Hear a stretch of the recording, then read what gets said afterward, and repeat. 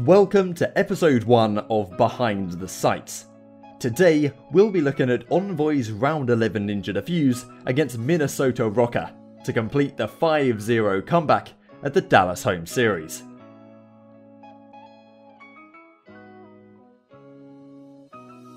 After five straight round victories, Chicago lined up in their default setup, with three players at the A site, Formal holding the cross, and Envoy watching mid map.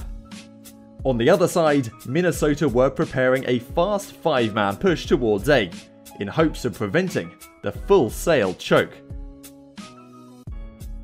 To make matters worse for ROKKR, a seam was first blooded by a perfectly thrown grenade from Gunless.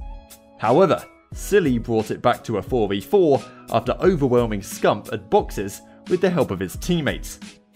ROKKR now had full control of boxes, and Gunless had no choice but to back down and concede his power position, allowing Minnesota to push forward.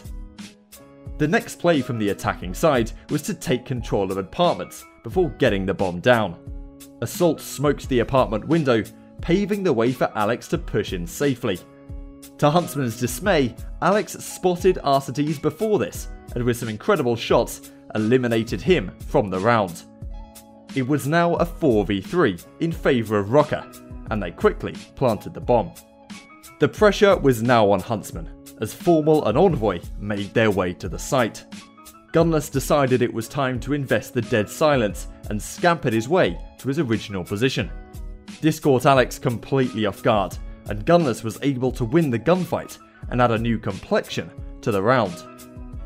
With the loss of apartment control, Silly and Assault needed to be more careful about how frequently they checked bomb. Meanwhile, GodRx had his eyes glued to the flank, making sure Envoy had no chance of spoiling the party. Unfortunately for ROKKR, Envoy was one step ahead of the game and didn't opt to flank.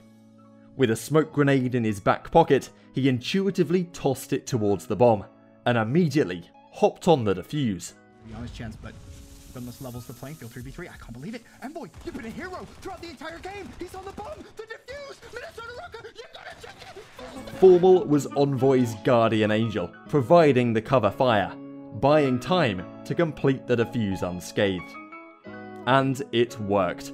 ROKKR let their guard down and were unable to provide any answers to the smokescreen.